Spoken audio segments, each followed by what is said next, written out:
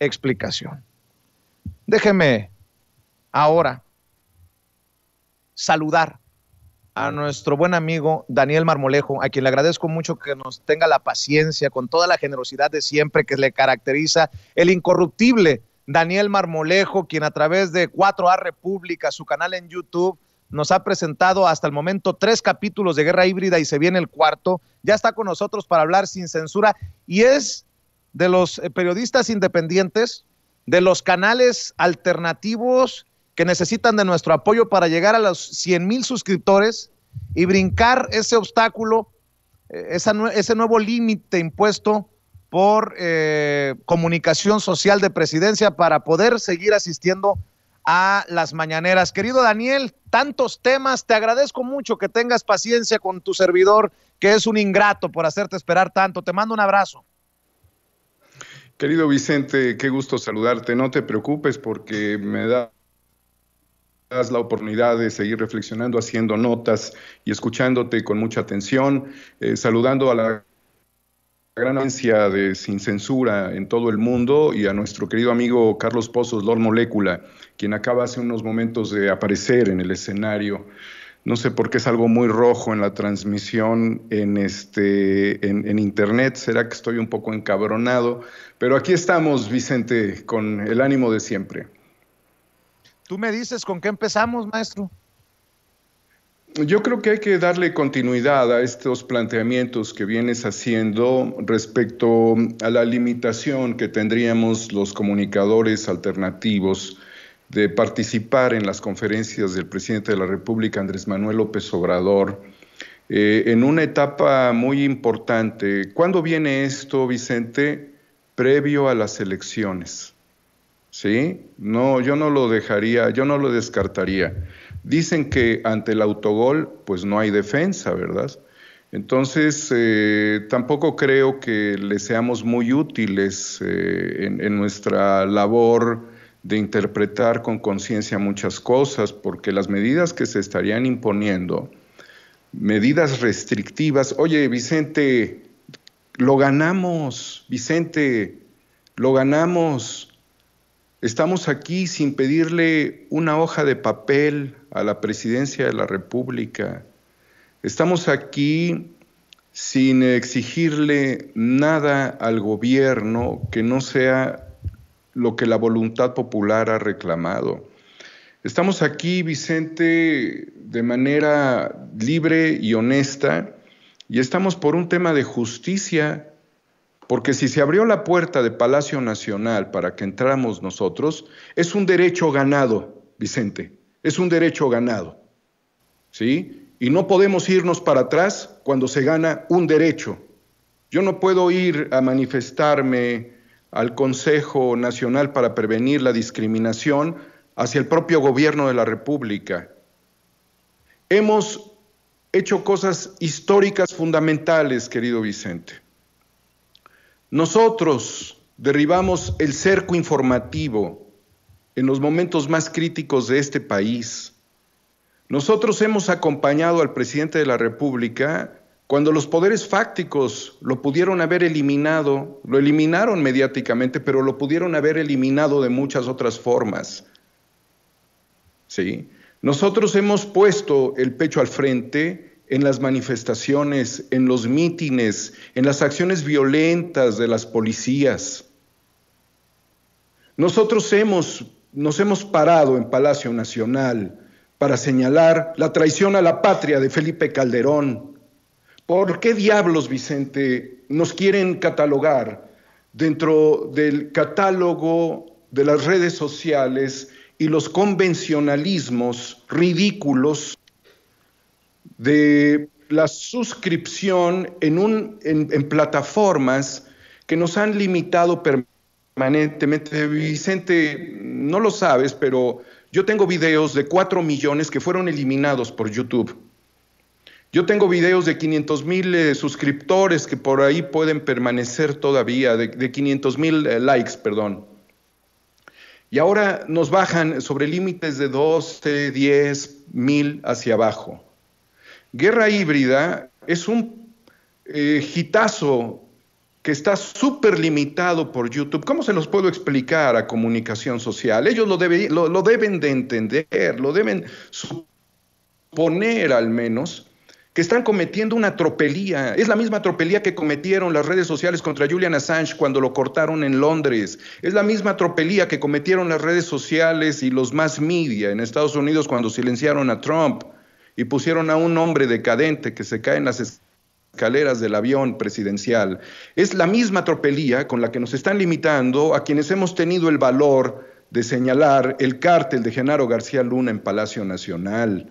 Somos nosotros los que tenemos eh, al menos en nuestras espaldas el haber señalado la corrupción en diferentes organizaciones por las cuales hay en este momento como consecuencia de todo ello al menos, al menos 30 órdenes de aprehensión, querido Vicente. Tú sabes lo que significa poner la vida al frente, ¿sí? Dar todo por este país para que te vengan a clasificar como si fueses eh, un eh, subelemento dentro de las estructuras de las redes cuando estamos luchando por construir nuestras propias redes sociales. Carajo, qué decepción más grande, qué absurdo. Vicente, que tengamos que padecer nosotros mismos el éxito de esta conquista histórica. Yo no lo puedo entender, no, no me cabe porque no puedo aceptar que haya una incongruencia cuando ya abrimos la puerta pacíficamente, cuando luchamos por abrir el Palacio Nacional democráticamente, cuando mi trabajo ha sido expuesto en el Festival de Cine de Toulouse, en el Festival de Cine de La Habana, cuando ha sido bloqueado por eh, YouTube permanentemente. Entonces, Vicente, entendamos que, cuáles son las limitaciones que nos están imponiendo en este momento. Si tú escribes la palabra AMLO en este momento en eh, YouTube, vas a encontrar que AMLO es propiedad en materia de posicionamiento de El Universal, Milenio, Televisa, AFP, Telemundo, Uno TV, ellos tienen comprado el posicionamiento dentro de Internet. No aparece sin censura con la palabra AMLO. No aparece Cuarta República, eso es imposible. Aparecen los más media. Si tú escribes la palabra Tren Maya, va a aparecer el financiero Bloomberg, el país. No aparece ningún medio de Quintana Roo en este momento refiriéndose al Tren Maya. Lo que estamos viviendo es la cancelación de la libertad de expresión y del derecho ganado en los espacios de la presidencia y además, te lo voy a decir con, todo, eh, con toda claridad, hemos sido los más respetuosos de la investidura presidencial. Hemos acatado a pie puntillas hasta las limitaciones que tenemos para el acceso por el COVID, mientras los que van a golpear son los que están permanentemente. Nosotros vamos a aportar si tenemos algo que decir, pues lo decimos. Si tenemos contradicción, la planteamos, pero siempre hemos sido absolutamente respetuosos. Si rompimos el cerco, estamos luchando por construir un proyecto histórico. Hemos arriesgado la vida permanentemente, Vicente. Tú eres una persona amenazada, yo también. Quiero decirte también que por eh, la película documental AMLO, El Camino y la Llegada, obtuve el Premio Nacional de Periodismo, Vicente. Es una película censurada en YouTube, apagada en YouTube. Son 30, 20, en, esa, en el caso concreto de esta película, son 20 años de seguimiento al proyecto histórico. Eh, la creación de las redes sociales que proponemos no cabe en 100 mil, que es la cota que me piden, porque yo estoy limitado dentro de las redes sociales. Estoy censurado, Vicente.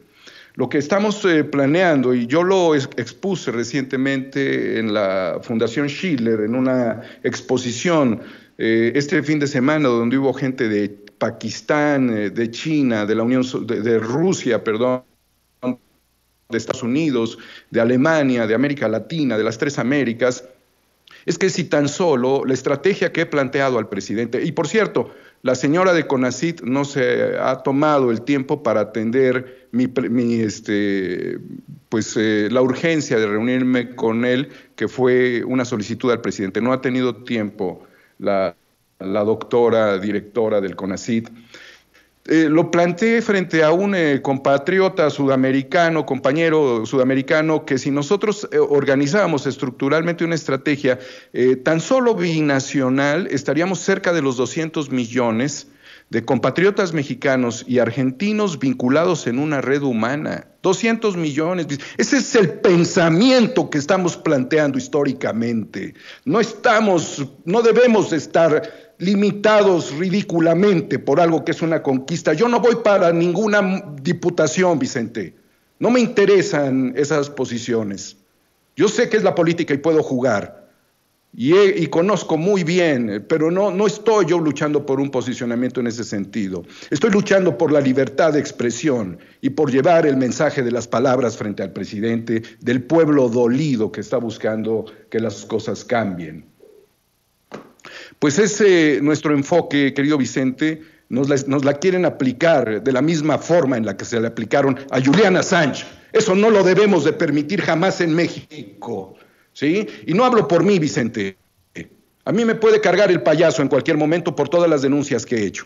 Hablo, hablo por los que tienen cinco mil, dos mil, tres mil, que no pueden alcanzar ese nivel y que tienen mucho que decir frente al presidente con mayor dignidad y respeto de los que tienen el control de los medios de comunicación, que son quienes recibirían mil millones de dólares dentro de la bolsa de Mark Zuckerberg este año. Son esos medios que tienen acaparadas las redes sociales. Bien dicho, Daniel. Y creo que lo único que debo de agregar es que desde esta trinchera, si ustedes aprecian lo que hacemos en Sin Censura, aprecian los análisis de Daniel Marmolejo, a quien le he ofrecido también que cuando la vida le dé, porque siempre anda ocupado, que también se sume a esto de Sin Censura Presenta y, y asuma el control de un espacio. Yo sé que está complicadísimo, pero desde esta trinchera, cuando digo solidaridad, por ejemplo, con los amigos de Sin Línea MX, a los que les estuvieron tumbando y atacando la web, como ahora que Daniel Marmolejo expone esto, no es de los dientes para afuera. Ojalá que la audiencia, las casi 20 mil personas que están conectadas en estos momentos en vivo y en directo en Sin Censura TV, solo en Sin Censura TV, se suscriban a 4A República. Así lo encuentra con número 4A de cuarta República. 4A República y se suscriban al canal y que nos sigan apoyando, nos sigan respaldando, porque con ustedes todo, sin ustedes nada.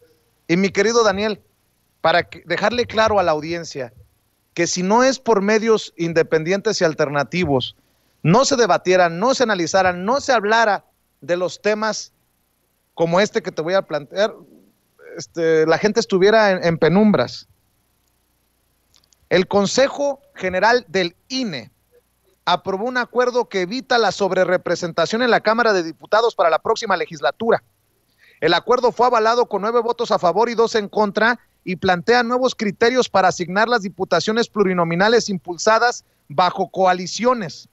De esta manera, si los candidatos ganan un distrito por mayoría relativa, el triunfo se contabilizará para el partido al que pertenece en medida que busca evitar que partidos ganen diputaciones participando con la afiliación a otro que alguien me explique, por favor, esta mamarrachada de Ciro, de Ciro Murayama y de Lorenzo Córdoba y sus afines como consejeros del INE, porque no se dieron cuenta que Xochil Gálvez llegó por el PRD a senadora.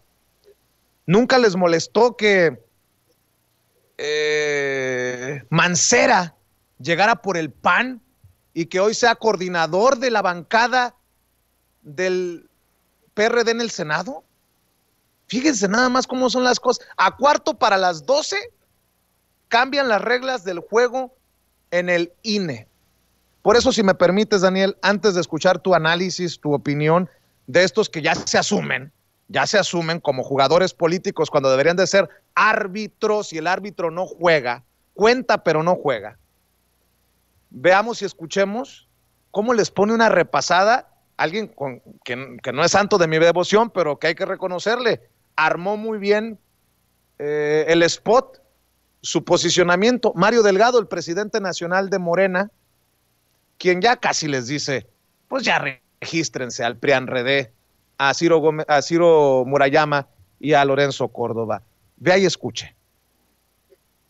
En el 2018, el pueblo de México decidió que Andrés Manuel López Obrador fuera presidente y que además tuviera la mayoría en la Cámara de Diputados y en la Cámara de Senadores para llevar a cabo el proyecto de la Cuarta Transformación. En este 2021, la gente nos sigue apoyando. Prácticamente todos los pronósticos señalan que Morena y sus aliados nuevamente obtendrá la mayoría. Esto tiene muy irritados a los de la mafia de la corrupción. Esa minoría rapaz de siempre y a sus empleados del PRI, del PAN y del PRD. En una maniobra obscura y vergonzosa, algunos consejeros del INE, afines al PRIAN, pretenden a menos de tres meses de la elección cambiar las reglas de asignación de los diputados plurinominales para afectar a nuestro movimiento y que no obtengamos la mayoría. Vamos a impugnar esta maniobra. Pero también les digo a estos consejeros que es válido que no coincidan con nuestro proyecto, con nuestros principios, con nuestros valores. Pero si nos quieren enfrentar, afílense al partido político de sus jefes y compitan por la vía democrática, no desde una posición en el INE que debería ser de absoluta transparencia e imparcialidad. Se les nota lo prianista. No se les olvide que cuando un pueblo se decide a cambiar, no hay nada ni nadie que lo detenga. Y en el México de la Cuarta Transformación, el pueblo ya decidió por vivir en una auténtica democracia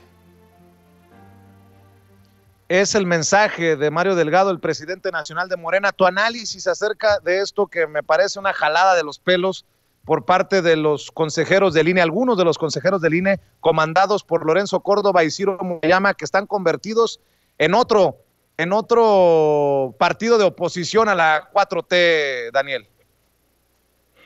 Eh, Vicente, es otro partido de oposición. Realmente el INE hay que plantearlo de manera tácita está controlado por los poderes fácticos de este país. Desde la construcción del IFE, eh, cuando Salinas y justamente eh, quien es actualmente el director de CFE, eh, perpetraron el fraude junto con Miguel de la Madrid en ese tiempo para tumbar a la izquierda, han pasado más de 30 años de todo ello y la consecuencia fue el neoliberalismo. Eh, ellos están claros que no pueden voltear eh, las eh, reformas hechas en la Constitución por el presidente López Obrador y que la persecución a los criminales de cuello blanco es algo que está pues en este momento corriendo sobre los rieles de la cuarta transformación junto con los grandes proyectos de infraestructura. Naturalmente, el juego del INE de alterar las condiciones electorales eh, prácticamente ya sobre el proceso electoral en el que nos encontramos, porque ya los ciudadanos están siendo invitados para participar en el próximo proceso electoral y al mismo tiempo los partidos políticos están tratando de decantar sus posiciones en el medio de enormes conflictos internos, pero naturalmente con un avance impresionante del partido Morena en este momento que le garantizaría el control de la Cámara de Diputados y la mayoría absoluta y quizás eh, la mayoría de los gobiernos estatales, excepto algunos otros que viven en otro planeta, a pesar de la violencia intrínseca, pero de los controles que, que han tenido los gobernadores, ciertos gobernadores y el clasismo, el racismo y el conservadurismo inmerso en ciertas regiones del país, subyacente en muchas regiones del país, la realidad es de que el INE está haciendo todo lo posible para menguar el avance de la cuarta transformación. Yo no tengo duda, no es tiempo de cambiar las reglas del juego, Vicente. Los plurinominales es una consideración que ya lleva mucho tiempo que está sobre el análisis el escrutinio del pueblo de México, porque no todos consideramos que sea lo conveniente, pero también ha dado la posibilidad de representar a ciertos partidos que en los momentos más difíciles de este país pudieron eh, subir la voz a la tribuna sobre todo en épocas de fraudes. Hoy, como bien lo señalas, han sido recursos utilizados por dirigentes de partidos, por líderes importantes para treparse dentro de las burbujas electorales y lo hemos visto de manera consistente. Tienes casos específicos como el de Carlos Romero de Champs y, todo. Pero en este momento, Vicente, eh, el, llamado tendría que ser por parte del Congreso de la, de la Unión tendría que ser desde luego por la Cámara de Diputados, porque todo lo que indica claramente es que estarían buscando una reserva para los conservadores con el afán de parar este avance de, la cuarta transformación.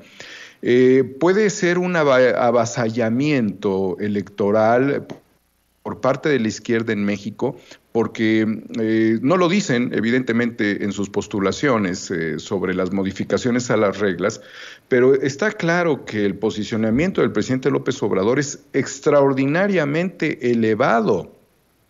No ha perdido eh, su nivel. y las agresiones generadas por estos grupos políticos, empresariales, mediáticos, vienen orquestándose de manera simultánea. Date cuenta cómo el INE quiere cambiar las reglas en este momento y cómo comunicación social quiere cambiar también las reglas. O sea, ¿cuál es esa sincronía? Yo no me la termino no, de, entender ni de aceptar, este, porque no, no, es lo lógico en estas circunstancias que esas cosas sucedan. Eh, evidentemente, el presidente es una persona muy hábil para no caer en las trampas de la provocación de los medios y lo que está marcando en este momento Mario Delgado es, señores del INE, no los hemos llevado al escrutinio de los congresos eh, como debieran llevarse, porque tú sabes todas las tropelías que han pasado en el INE, compras, desapariciones de activos, eh, ocultamiento de información, no tenemos claridad, nunca hemos tenido claridad, así como sucede en las redes sociales sobre los algoritmos dentro de los eh, sistemas del INE, no tenemos claridad, tuvo que venir un, un, voto impresionante solamente para ganar, porque en el 2006 ya vimos lo que hizo el IFE de Luis Carlos Ugalde, pero estamos viendo prácticamente cómo quieren tripular la segunda versión del IFE al INE del 2006 a este año 2021. Creo que la ciudadanía que todo espacio ganado no lo perdamos en este momento. Eh, Dani, si me permites, eh, para cerrar, y también si me permite Julio Cerroa, quien nos está esperando amablemente vía telefónica, eh, en su discurso, en su mensaje para defenderse, Víctor Trujillo dice que al, al poder hay que seguirlo ¿qué dijo? Incomodando. Broso fue el que dijo en su momento que al poder no se le aplaude, se le revisa. Pues vaya eh, contradicción con lo que hizo precisamente Víctor Trujillo en su personaje de Broso, que le pega una apapachada muy cabrona a eh, el candidato de Movimiento Ciudadano Samuel García a través de Latinus y, bueno, hasta Jairo Calixto, eh, que además que lo sigo y le mando un saludo, dice, la entrevista de Broso con Samuel le habría dado a Oriana Falachi y a Kapuscinski una envidia sin fin. Obviamente con todo el sarcasmo del mundo. Si me permites, déjame pedirle a Ceci y a don David que nos pongan el audio eh, a partir del minuto 8. Y, y si quieres un par de minutos, tres minutos, cuatro minutos, para ver si tú encuentras cómo revisa el poder Broso, cómo revisa el poder eh, Víctor Trujillo. Para mí es una apapachada marca Diablo para posicionar a Samuel García, un personaje que de otra manera lo consideran fuera eh, de cualquier posibilidad las encuestas. Y ya tú me das tu, tu análisis para cerrar, Daniel. Escuchemos, por favor. Gracias a ti por venir. Privilegio estar en tu programa en Latinos. Este, Nuevo León requiere algo nuevo, requiere sacar la vieja política que tenemos. No podemos permitir que llegue Morena, definitivamente, pero tampoco que por Morena pongamos al viejo PRI de siempre. Y entonces creo que hay un gran equipo nuevo, preparado, incorruptible, que es lo más importante. Fíjate que aquí tenemos, podríamos ir a, bastantes caminos con tus pretensiones de ir a uno de los gobiernos más importantes de la República, que es Nuevo León. Y hablabas de la nueva política, eres un nuevo político. Yo me acuerdo cuando empezó hace años esta tendencia política, a que el partido más bien se asemejaba a una marca comercial y el candidato era el producto. Eso se veía desde hace años ya Y hoy es una realidad, porque, porque eres, un, eres un político popular. ¿Quién sabe si la gente sabe a qué le tiras políticamente? Pero tienes mucho, este, tienes mucho juego en las redes sociales y todo eso. O sea, sí, sí hay un conocimiento de tu persona. Pero hablando de política vieja y política nueva, ¿cuáles serían los políticos que a ti te inspiraron para, para dejar de jugar golf a las 6 de la mañana, qué chinga, cabrón. No, para meterte en estos bretes de la, de la política. ¿Quiénes te inspiraron? ¿Qué políticos viejos y nuevos? Te y fofo como mi compadre. Mira, nada más aquí tienen ustedes eh, en, un, en un momento histórico uno de los huevos de Samuel García. que eso hay que reconocerle, quién sabe si es buen político o no, pero tiene los huevos de este color para venir al programa. Pues Gracias, este, yo realmente quien admiro y trato de seguir su trayectoria es John F. Kennedy. John fue senador de su estado. Demostró en su partido tener las tablas en una convención que fue pues mundialmente histórica. Y digo, espero no terminar como él, no. pero logró ser muy joven presidente de Estados Unidos. Y era un cuate humanista, abogado, preparado, y creo que es uno de los políticos que admiro por el legado que dejó. Fíjate que eh, está bien este ejemplo que me das, porque, bueno, podría pasar en cualquier parte del mundo lo que le pasó a él, ¿no? O sea, le rascó los huevos al gorila. Como en cualquier parte del mundo estás en, esa, en ese riesgo, en esa dificultad, en esa decisión. Y lo acabó pagando de esa manera, oficialmente no se sabe cómo, oficialmente no se sabe quién, ¿no? Eh, eh, el ejemplo que tendríamos más parecido en México es Colosio. Mi compadre. Es Colosio, ese sería más o menos el que nunca se supo nada.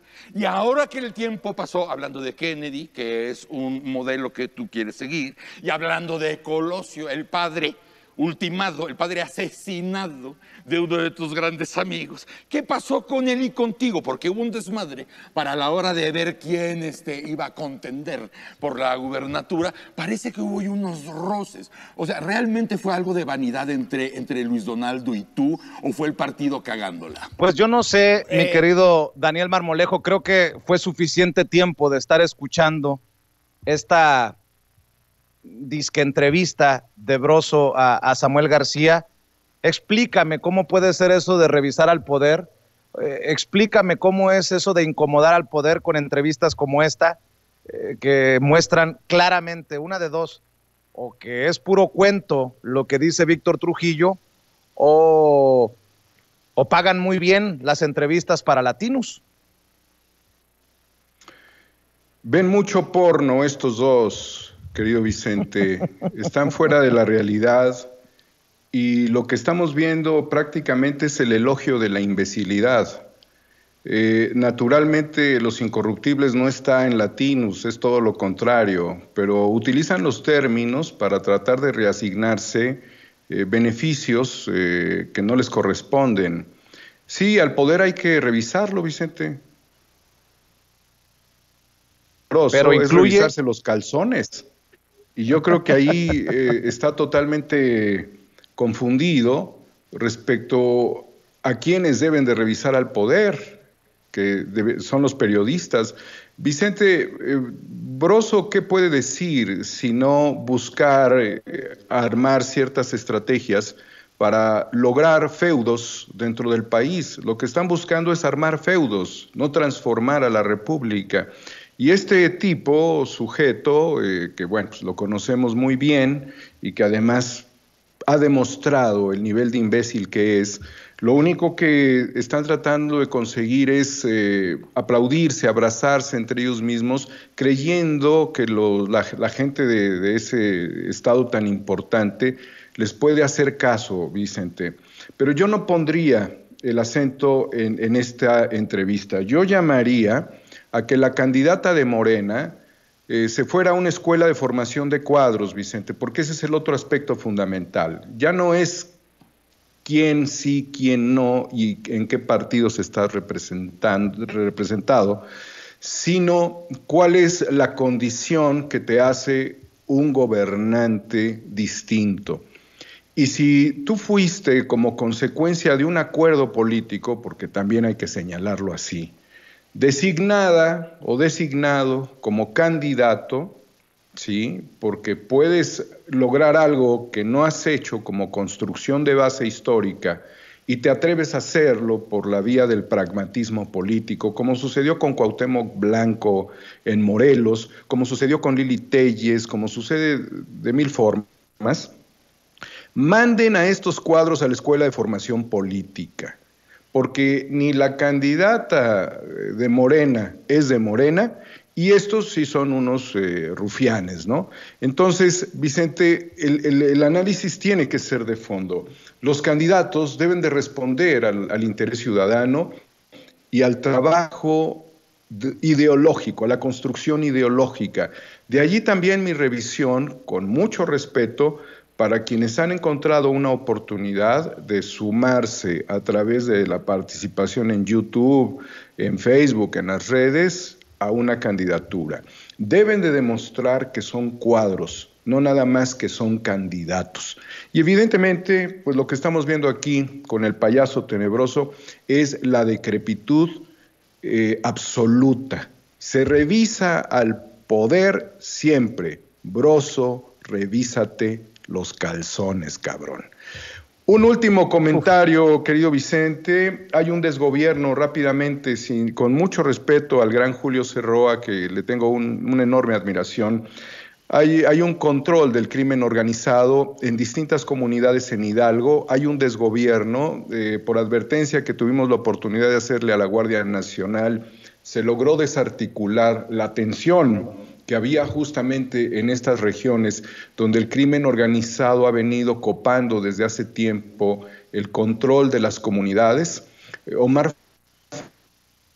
no ha sido el gobernante que desean eh, los hidalguenses y por poco eh, pudo haber sucedido una tragedia si no hubiese actuado oportunamente la Guardia Nacional. Todo nuestro respeto para ellos por su actuación y se tendrán que librar órdenes eh, de aprehensión contra los criminales que tienen tomado ahorita el control operativo de las canteras de las cuales dependen distintas cooperativas en la región y que han establecido un clima de violencia. ¿Y esto por qué sucede, querido Vicente? Porque yo lo he dicho recientemente, porque Interpol México no atrapa ni las moscas, querido Vicente. Interpol México no está funcionando y, le están dejando pues, eh, a las autoridades federales esta, esta, consigna. Me están cortando la señal, Vicente. Eh, no sé si me escuches por ahí.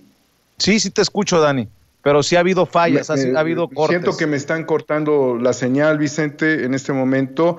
No, no quisiera permanecer más tiempo, pero te mando todo mi saludo y mi cariño para Julio Cerroa.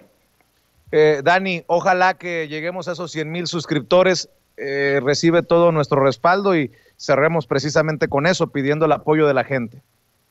Sí, sí, pido el apoyo de la gente para cumplir el capricho de comunicación social, que es el capricho de los neoliberales. La, la, comunicación, la señal no me la están cerrando ustedes, yo estoy viviendo un bloqueo en este momento físico, no sé, no es a través de sin censura, lo dejo patente, ¿sí? Este, en este momento con el tema eléctrico, así es que lo que alcanzo nada más a mandarte es un saludo muy fraterno para todos ustedes. Y muchas gracias a Julio por aguantar y, hasta pronto, querido Vicente. Gracias, es Daniel Marmolejo, el incorruptible Daniel Marmolejo, quien espera su respaldo en su canal de YouTube 4A República, búsquelo con, con número y con letra, 4A República y búsquelo como Homo Ex Novo, arroba Homo Ex Novo en Twitter. Recuerde los incorruptibles y siga respaldando a los periodistas de a pie, a los periodistas independientes y alternativos. Y le agradezco a Julio Cerroa, que está vía telefónica. Eh,